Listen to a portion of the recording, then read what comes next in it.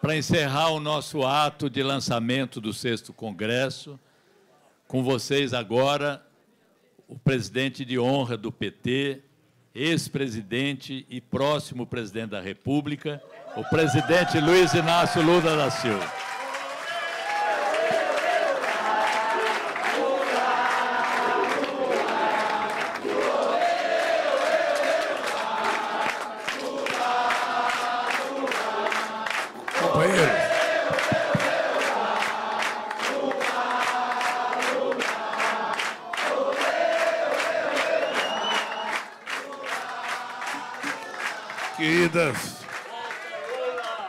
Queridas companheiras e queridos companheiros,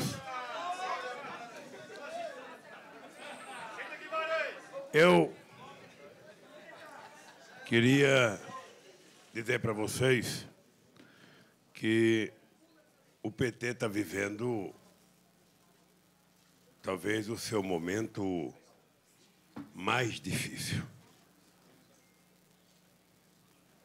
E me entusiasma o entusiasmo de vocês. Porque se a gente não tiver crença naquilo que a gente quer fazer, e se a gente não decidir o que fazer corretamente, a gente pode jogar por terra uma expectativa de esperança que a sociedade ainda deposita no PT. Ao decidirmos politicamente, nós não podemos esquecer o que aconteceu conosco nas últimas eleições. Nós tivemos uma derrota muito grande. Uma derrota que precisa fazer com que cada um de nós faça uma reflexão profunda no que aconteceu, para que a gente possa consertar os erros e voltar a ser aquele partido que desperta a esperança na sociedade de que algo vai acontecer de melhor para a sociedade brasileira.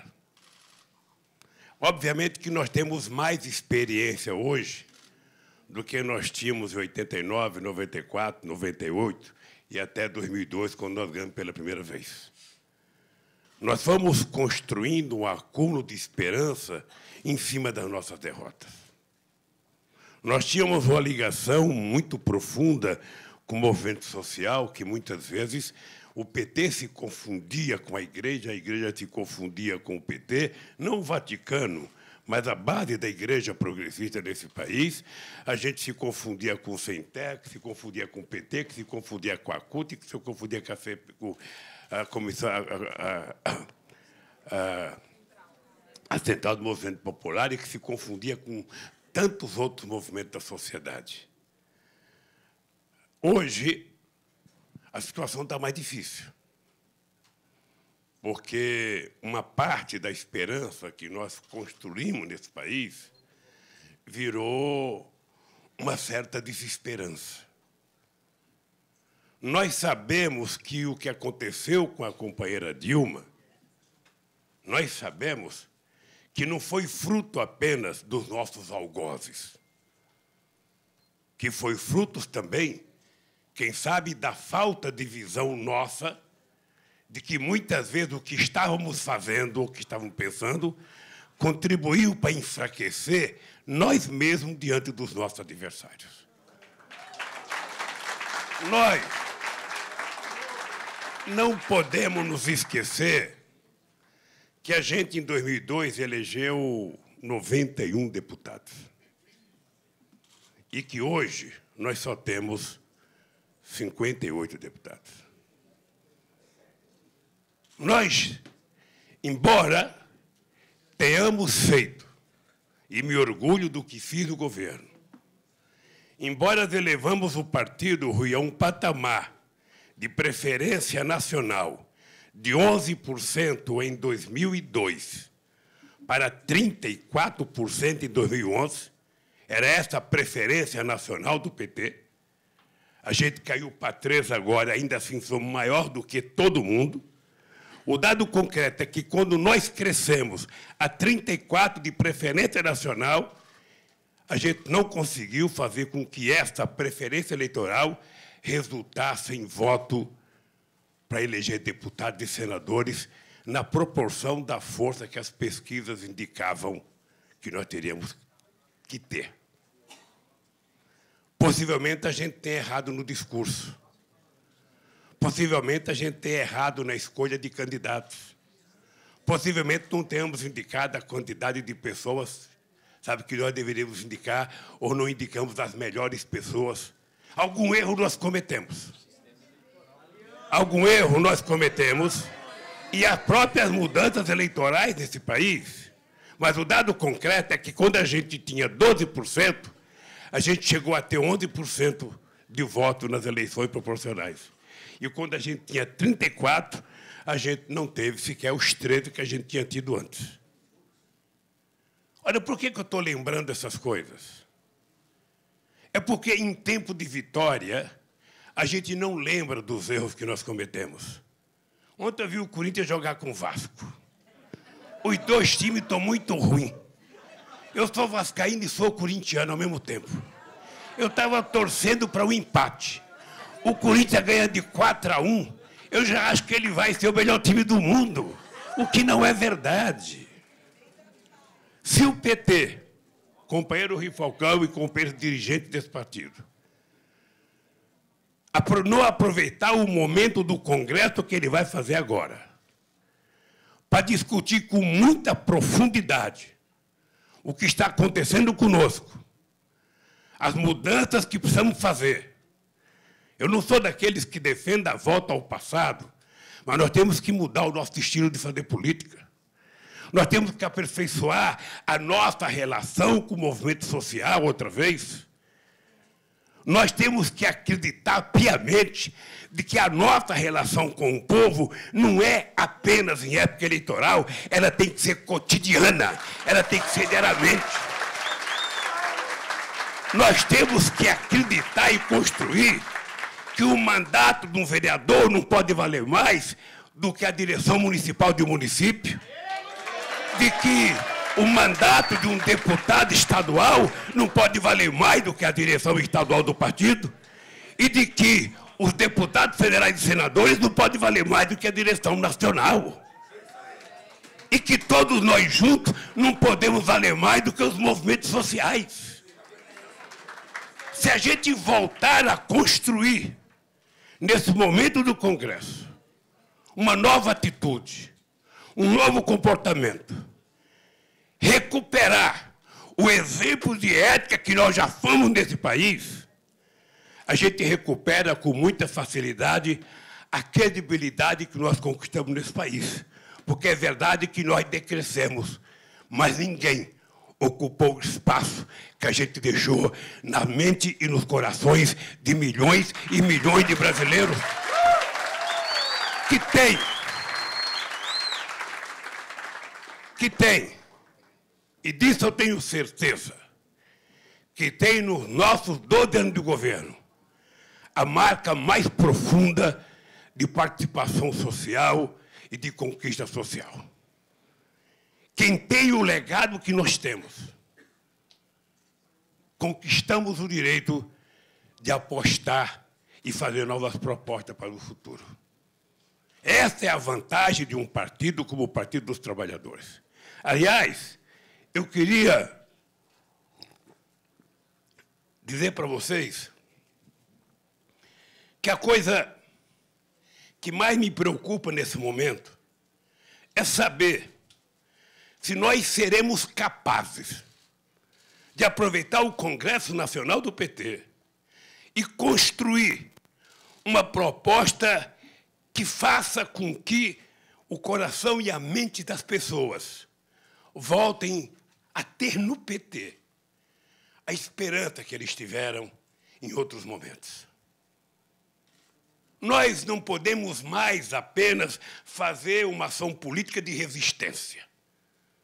Porque nós ficamos gritando fora Temer e o Temer está lá dentro. Nós gritamos, sabe, não vai ter golpe e teve golpe. nós estamos gritando contra reformas e eles estão aprovando as reformas num tempo tão recorde que esse dia um dirigente sindical falou para mim: nós não temos tempo de acompanhar tal a rapidez que eles estão aprovando as coisas. E eles construíram um pacto, sabe, talvez o mais importante pacto que a elite brasileira já construiu nesse país. Primeiro, tentar derrotar o PT e a Dilma, não pelos erros que nós cometemos, se bem que nós cometemos, mas pelos acertos das coisas que nós significavam nesse país.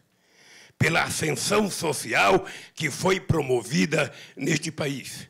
Pelos milhões de deserdados, de descamisados, de pés descalços, de negros e pancos pobres, que tiveram apenas um degrauzinho de ascensão social nesse país. Da mesma forma que um dia, quando a Marta Suplicy perdeu a sua eleição aqui, a reeleição dela, Rui, eu disse para Marta, Marta, você pode ter certeza que a história vai mostrar que a tua derrota aqui em São Paulo se deve pelas coisas boas que você fez. Eu fui inaugurar o céu de, Gua... de Guaianazes com a Marta. Era uma coisa tão maravilhosa. Era uma coisa tão bonita. Era uma ascensão tão extraordinária do povo da periferia que eu falei para Marta, a classe média baixa que está a 300 metros daqui está com raiva de você porque os filhos dos pobres do lado de lá estão na escola melhor do que aquela que os filhos deles estão. E nós sabemos que nesse país as pessoas não têm ódio do outro porque um ultrapassa ele as pessoas que estavam no 13º degrau não quer que os outros cheguem ao 11º, ao, ao nono, ao décimo. Há uma, há uma preocupação com a ascensão das pessoas, daqueles que estão lá em cima. E isso exige do PT uma reflexão para aprender a convencer as pessoas de que a ascensão dos de baixo não é um mal para eles, mas é um bem é a chance até dele crescer mais. E neste país aqui, Rui, uma coisa nós temos que ter orgulho. Qualquer pesquisa feita em qualquer órgão internacional que discuta economia, durante o nosso período de governo, embora tenha havido uma concentração de riqueza no mundo, embora oito pessoas no mundo tenham dinheiro, mais dinheiro do que 3 bilhões e 200 milhões de habitantes, embora aqui no Brasil oito pessoas tenham mais dinheiro do que metade da população, foi no nosso governo que, pela primeira vez, a camada mais pobre, percentualmente, conquistou mais dinheiro do que a camada mais rica. Foi um exemplo, foi um exemplo muito pequeno da revolução que foi feita nesse país. Muito pequeno. Pois bem, o PT, a partir dessas conquistas, o PT não pode achar que a gente pode voltar a ser um partido apenas de oposição, apenas um partido de contestação, apenas um partido de protesto. Isso é muito bom para um partido que tenha quatro deputados, três deputados, dois deputados, cinco deputados, quinze deputados. Não para um partido que governa estados importantes como nós, Minas Gerais, Ceará, Bahia, o glorioso Piauí e no, o nosso querido Segunda Maria da Conceição, a nossa mais importante ONG, que é o Estado do Acre. Há 20 anos governamos o Acre. Não é há 20 dias, há 20 anos. Um partido que tem a bancada que nós temos no Senado e na Câmara. Um partido que teve, sabe, e que foi exemplo de administração pública nesse país que ensinou este país a fazer administração pública a partir das nossas prefeituras, que mudou o jeito de governar este país. A gente era tão importante que, pela primeira vez em 157 anos, Porto Alegre reelegeu pela primeira vez um prefeito do mesmo partido. O Olívio Dutra sai e elege o nosso companheiro Raul Ponte, ou não, Tarso Gerro, prefeito de Porto Alegre. Há 157 anos não acontecia isso no Rio Grande do Sul. Nem Brizola, com todo o poder dele, conseguia reeleger o sucessor. O PT conseguiu. Com política simples, com participação. E assim foi em quase todo o território nacional. Agora, companheiros, eu quando vim para cá, Rui, eu vinha com alguns discursinhos para falar algumas coisas simples, que nós temos que desmontar. Primeiro, porque nós temos que discutir de verdade a reforma política. O PT precisa dar aos nossos deputados e aos nossos senadores o modelo de reforma política que nós queremos. Não é coisa só para deputado e para senador, é coisa para o partido, para os militantes discutirem. É um debate é um debate que tem que envolver os sem terra, os sindicatos, os sem teto, os catadores de papel, as mulheres, os homens, os adolescentes, para discutir que tipo de política nós queremos. Que tipo de reforma política nós precisamos? Quem vai financiar essas campanhas? Essa é uma coisa extremamente importante. Fácil de falar e difícil de fazer. Uma outra coisa que nós temos que discutir profundamente é que economia que nós queremos. Que tipo de política econômica que nós desejamos? Como é que nós vamos apresentar para a sociedade a ideia de gerar emprego? De voltar a gerar distribuição de renda? De voltar a fazer política social? De voltar a incluir as pessoas mais pobres? Porque outra vez a gente começa com o discurso de que o Brasil não tem jeito. E eu lembro que em 2002, muita gente dizia para mim: o Lula vai ganhar, mas não vai conseguir governar porque o Brasil vai quebrar. Eu quero dizer para vocês que eu estou numa divergência com os nossos queridos companheiros economistas. Estou numa divergência.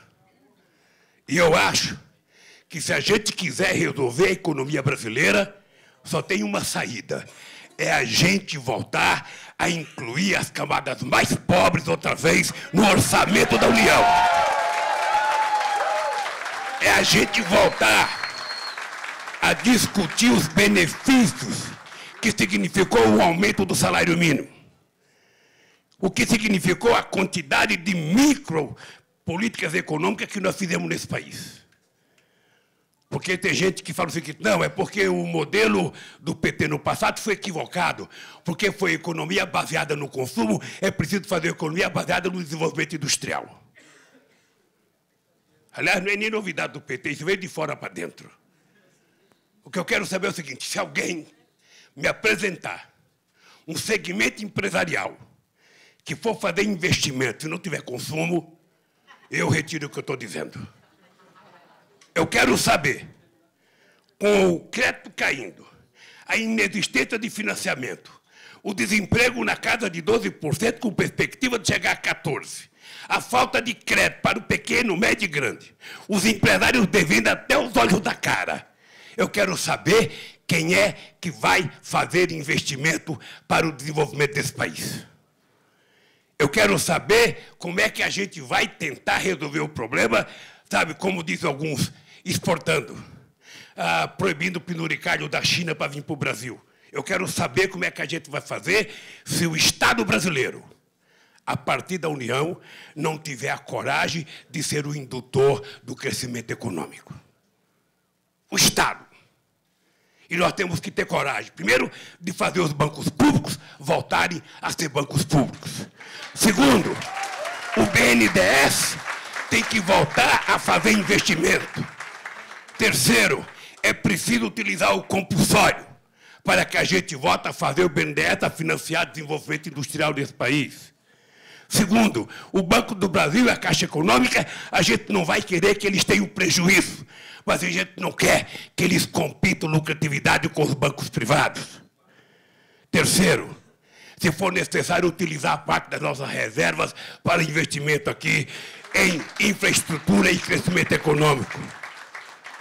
E vou dizer mais, e quarto, se for necessário, nós temos que aumentar o nosso endividamento público.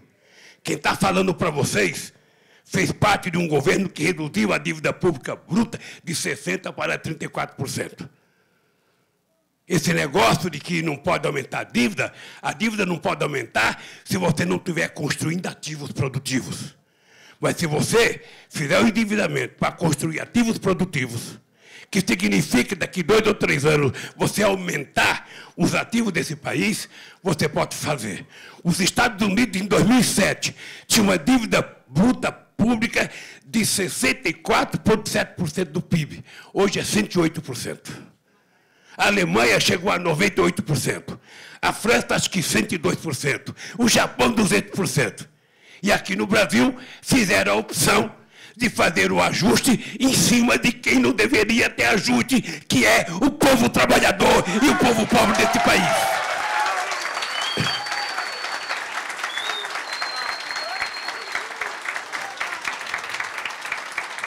Eu, eu tenho, Quitino, tentado provocar a CUT e o movimento sindical para discutir com a sociedade brasileira o significado da Lava Jato na economia brasileira. Na última reunião dos economistas, eu falei, olha, está na hora dos economistas do PT produzir uma proposta. Eu quero saber qual os efeitos. Porque neste país, todos nós queremos que se apure a corrupção. Todos nós queremos que ladrão esteja preso. Aqui ninguém está defendendo o que fez corrupção.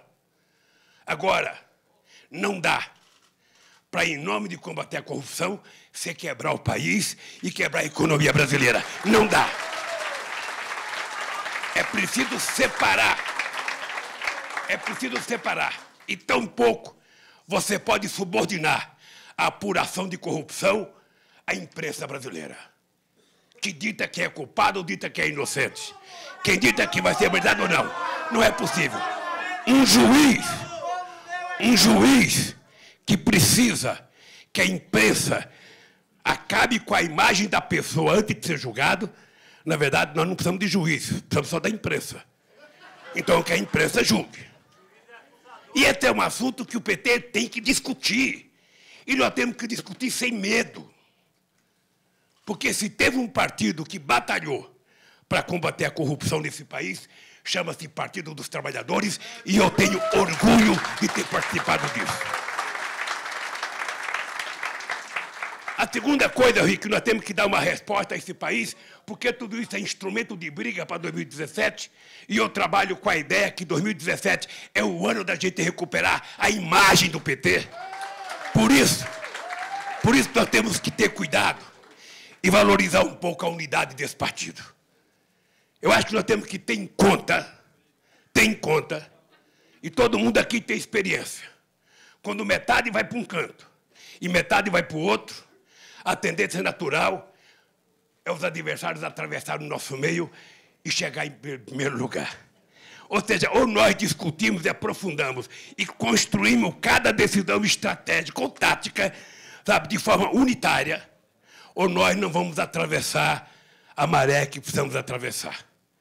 Veja uma coisa: o governo golpista está jogando nas nossas costas a ideia de que a merda que nós vivemos é por causa da gastança. E eu fiquei muito puto naquele debate no Senado, quando a Dilma foi lá ficar 14 horas, porque em nenhum momento a Dilma utilizou a palavra desoneração. Em nenhum momento. E eu fiquei agoniado com isso, porque, na verdade, veja, Gleice, esse aqui é o dado da Receita Federal. O governo, entre 2011, o governo fez uma desoneração de praticamente 458 bilhões de reais.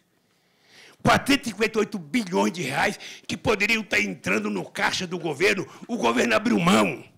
E abriu mão corretamente para tentar manter as políticas sociais, para manter o nível de emprego. E esses empresários que receberam esse dinheiro, ninguém nem votou e nem agradeceu a Dilma. Pois bem, coisa, hein? E, e não investiram para gerar os. Veja, e mais ainda, a Dilma em 2015, ela mandou um projeto para onerar outra vez. Sabe o que aconteceu? Que ninguém fala? O seu Renan não aceitou a medida provisória da Dilma e devolveu a medida e manteve a desoneração. E eles agora jogam na nossa cara que a crise deles é por conta da herança maldita. A Dilma mandou, só para ter ideia, a Dilma, em janeiro, mandou uma medida provisória que ampliava a desoneração de 17 para 42 setores.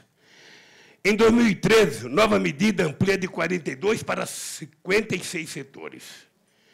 Ou seja, na verdade, ela mandava uma medida provisória e o Congresso aumentava, aumentava, aumentava, aumentava, colocava chocolate, Rede Globo de televisão, meio de comunicação, ia donerando tudo. E não estava no projeto original dela. E esse é um debate que nós temos que fazer, porque é o debate da herança maldita que eles estão jogando nas nossas costas.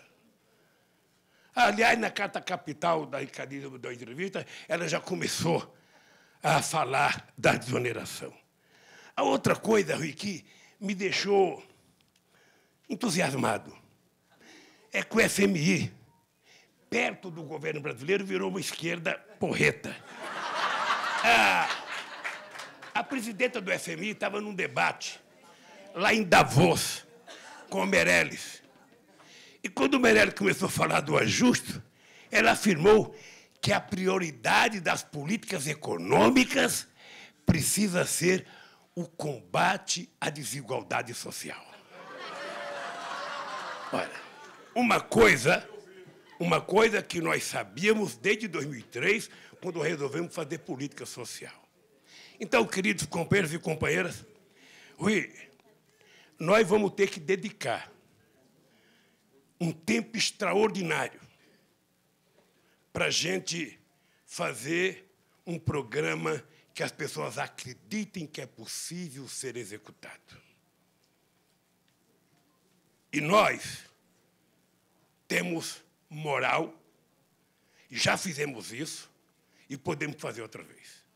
Um governo que, para tentar recuperar a economia, resolve cortar investimento na educação e colocar o dinheiro da educação na rubrica de gasto, é um governo que está levando esse país a não ter futuro. É um governo que não quer inovação. É um governo que não quer investimento em tecnologia. É um governo que não quer competitividade internacional. É um governo que quer continuar ser exportador de commodity. Portanto, nós temos instrumentos, Gleice, para brigar como jamais tivemos. Se tem um governo que deu razão para a gente brigar, foi esse. Agora, se nós não construirmos o discurso correto para mobilizar a nossa base, nós vamos perder.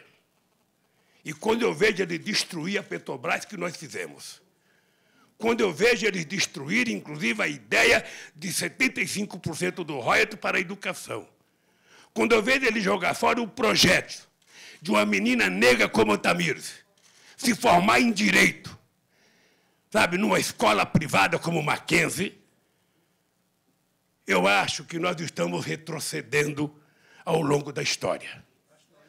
E eu acho, companheiros e companheiras, que nós temos que brigar agora. E nós vamos brigar se a gente tiver o discurso correto. E o discurso correto que possa convencer os movimentos sociais a vir junto, a trabalhar junto. E eu acho que o correto é a gente tentar nem falar. Ou seja, veja, nós não podemos esperar 2018. Nós não podemos esperar. Obviamente que é preciso saber se a gente tem força para antecipar. Mas veja.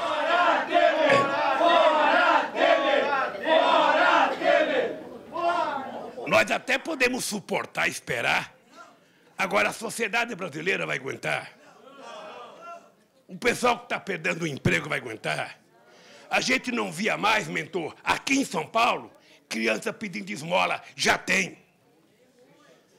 Aqui em São Paulo, a gente está vendo agora, é casa ser invadida para nego roubar televisão, computador e outras coisas, coisa que não tinha mais.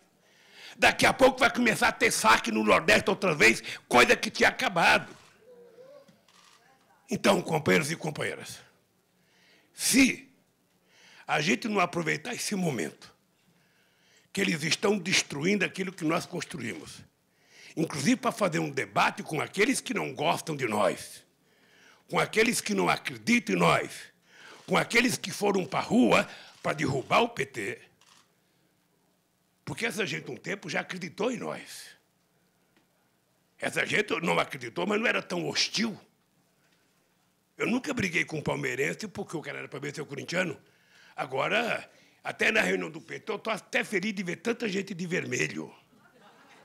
Porque ultimamente as pessoas estão até recusando utilizar vermelho. Se puder colocar um azulzinho disfarçado, vamos colocar.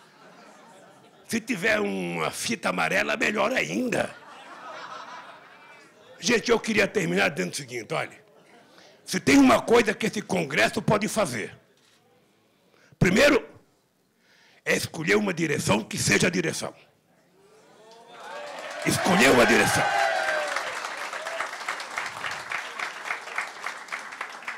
E uma direção decide as coisas. Uma direção determina as coisas. E uma direção é feita com aquilo que a gente tem de melhor. Se a gente quiser mudar esse partido. A segunda coisa, Rui, é que se a gente decidir levar essa coisa a sério, nós temos que dizer alto e bom som a todo o povo brasileiro. Esse partido e seus dirigentes vão voltar a rodar esse país. A rodar esse país. A fazer os debates. A voltar para as universidades. A voltar para os sindicatos a visitar os acampamentos e os assentamentos, visitar as ocupações, conversar com os empresários. Não é só fazer com o nosso ouvidão, é conversar com os empresários, debater com os empresários. Debater e dizer qual é a nossa política, qual é a nossa política industrial. O que é que nós queremos para o desenvolvimento desse país. E tudo que a gente fizer, nós temos coisas feitas e prontas. Eu tive o orgulho de fazer parte de um governo em que terminamos o mandato sendo aplaudido de pé no encontro do SBPC com todas as entidades científicas desse país. Porque fizemos aquilo que nós aproveitamos e prometemos fazer. Então, nós não temos que ter medo, nós não temos que ter vergonha do que fizemos, nós não temos que ficar com coisinha porque vai apurar a corrupção, que apure. Quem está falando com você já tem cinco inquéritos. Sabe, eu não sei se tem mais. Agora, eu quero é que eles provem um real na minha conta. Eu quero que eles provem. E também eu quero que eles apurem à vontade. Pode apurar à vontade. Acho, companheiro, acho, acho, companheiro, acho, companheiros, que nós estamos colhendo aquilo que nós plantamos nenhum partido fez mais pela transparência do que nós. Nós éramos tão transparentes e tão puros que quando nós começamos a investigar as prefeituras, a gente sorteava para não dizer que o PT estava escolhendo prefeitura do adversário. Sorteava na Caixa Econômica Federal. A mesma bolinha que sorteava a loteria, sorteava qual era a prefeitura que nós iríamos investigar. E nunca denunciamos, porque o nosso objetivo era corrigir era orientar, às vezes, um prefeito de uma pequena cidade que não sabia nem como fazer um projeto, nem como chegar em Brasília. Então, companheiros, eu quero dizer para vocês que eu tenho orgulho, e muito orgulho, da nossa história. Eu quero dizer para vocês aquilo que disse a Gleice. Não existe nenhum partido no planeta Terra nas condições do PT. Não existe similaridade. Não existe um partido criado nas condições que nós fomos criados. Um partido que deu cidadania a toda a esquerda brasileira, que antes do PT nem se conversavam. O PT conseguiu fazer com que todas as matizes sabe, ideológicas que sequer conversavam viessem para o mesmo partido. Sentasse junto, discutisse, construísse programa, construísse proposta, disputasse as eleições. Essa é a novidade. Essa é uma coisa extraordinária. Esse partido, a diferença dele dos partidos tradicionais é que os partidos tradicionais ficavam maravilhados, mas traziam os seus intelectuais e estudantes para colocar dentro da fábrica, achando que o trabalhador não tinha condições de fazer as coisas. E a diferença é que o PT pegou o trabalhador e levou para a universidade, para se transformar em doutor, como a Tamir outros. Essa é a diferença. Então é o seguinte, companheiros. É o seguinte, companheiros. Nós temos problema entre nós. Temos divergência entre nós. Eu estava até pensando, quando levantaram uma plaquinha fora Maia, eu pensei que era contra o Marcos Maia nosso aqui, lá de, lá de, lá de Canoa. Tá, ele até foi embora achando que era com ele, coitado. Ô Marco, pode votar, Marquito, não é com você não, Marquito. Então, eu quero, gente, olha, eu quero dizer para vocês, olha, eu já disse ao Rio Falcão, 2017 é o ano que eu quero me dedicar de corpo e alma a reconstruir esse partido. Reconstruir no bom sentido, a limpar a imagem desse partido, a fazer as pessoas acreditarem que esse partido tem muito mais virtude do que defeito. E que esse partido não tem medo de competir com nenhum partido pelas coisas bem feitas que nós fizemos nesse país. Não fizemos tudo. Não acertamos em tudo. Mas certamente, Benedita, ninguém fez mais do que nós. Portanto, Rui, eu acho que esse congresso vai ser um momento extraordinário. Eu lembro de 91 que a gente cunhou aquela frase: é proibido proibir. Nesse congresso tem que ser, sabe, não é proibido divergir, não é proibido discutir, não é proibido brigar. Agora, essa briga tem que ser feita com o objetivo de convergir para uma estratégia que torne o PT mais forte, que torne o PT mais combativo, que torne o PT mais atuante. Porque nós temos que, inclusive, com o Peru Rui, recuperar muitos diretórios municipais que não existem mais. Nós temos que recuperar alguns diretórios estaduais que não estão nem pagando a conta da luz, porque não tem dinheiro. Nós temos que recuperar o gosto, o prazer e o jeito de fazer PT. Parabéns e toda a vitória do mundo ao PT nesse congresso.